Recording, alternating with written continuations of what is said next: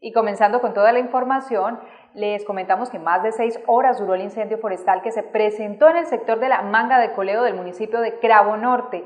400 hectáreas fueron consumidas por las llamas en esa localidad.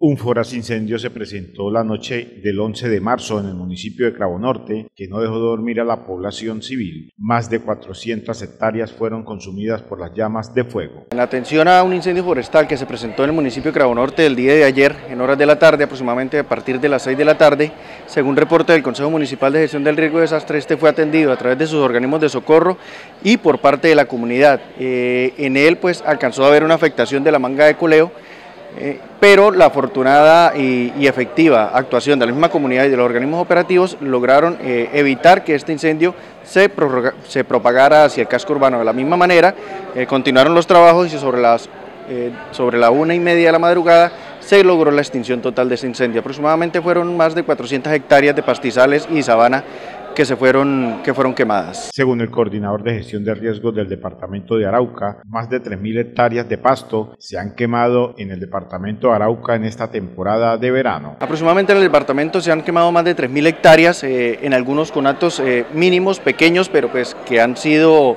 Eh, han sido bastantes teniendo en cuenta que estos incendios en su mayor proporción han sido, afectados, han sido generados de manera antrópica. Esto es, Quiere decir que pues, las mismas comunidades en la zona rural han venido generando estos incendios para hacer su limpieza de potreros y, sus cambios de cultivos, que es una práctica que no es debida, eh, teniendo en cuenta que ante la situación de verano que se viene presentando, que se venía presentando, eh, el control de estos incendios es prácticamente imposible. Hasta el momento el Consejo Municipal de Gestión de Riesgos del municipio de Cravo Norte no ha reportado cuáles serían las causas del incendio. Hasta el momento el Consejo Municipal no ha dado el dictamen en relación a, quién, a qué pudo haber generado, ocasionado este incendio, pero eh, algunas pesquisas pueden dar a que fue de manera antrópica, de la misma manera que se generó este incendio. El funcionario manifestó que en varios municipios del departamento de Arauca se han presentado varios incendios forestales. En todos los municipios del departamento se han venido generando incendios, principalmente en los municipios de Arauquita, Tame eh, y Puerto Rondón, pues que afortunadamente a través de sus organismos de socorro han sido eh,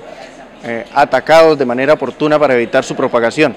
En general, pues como se manifiesta, más de 3.000 hectáreas que se han consumido en el departamento de Arauca hasta la fecha, según los reportes de los consejos municipales de gestión del riesgo de desastres, y pues espera que ya con el inicio del primer periodo de lluvias empiece a hacer un descenso de los niveles de temperatura y se reduzcan las probabilidades de incendios forestales. Los organismos de socorro y la comunidad de Cravo Norte lograron controlar el incendio forestal que se presentó en el sector de la manga de coleo del municipio de Cravo Norte.